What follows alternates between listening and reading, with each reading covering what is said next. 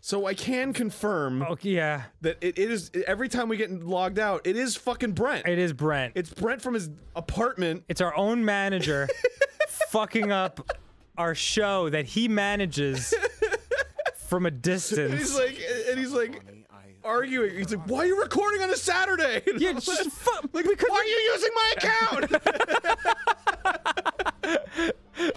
Like that's his fucking excuse.